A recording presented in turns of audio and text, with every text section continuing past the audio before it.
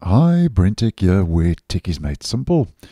So, earlier this week, I let you know that as of the 4th of November, uh, Microsoft had said and was saying goodbye to the legacy Paint 3D app for Windows, where the app they said would no longer be available in the Microsoft Store or receive updates. So, yeah, we can see that banner at the top as we have been talking about on the channel.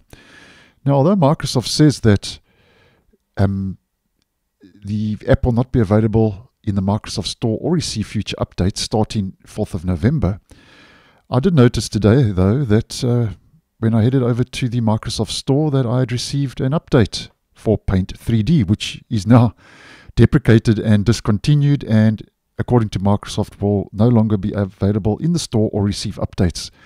And it was actually a security update. So, very strange that Microsoft has said the app um, is basically unsupported. Um, it's not available in the Microsoft Store or receive updates. And even though it's not available in the store, you can do a search for it. It's still not available in the store. I received an update today for Paint 3D. So very strange. And just putting it out there to keep you guys in the loop if you have noticed that.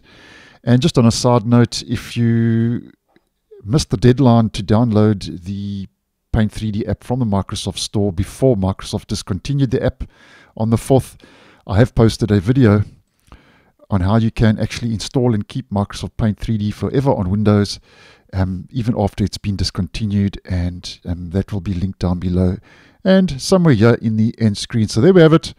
Although it's unsupported, it received an update, so um, I'll just keep you guys in the loop if I get any wind of what's going on or if Microsoft is up to something. So thanks for watching, and I'll see you in the next one.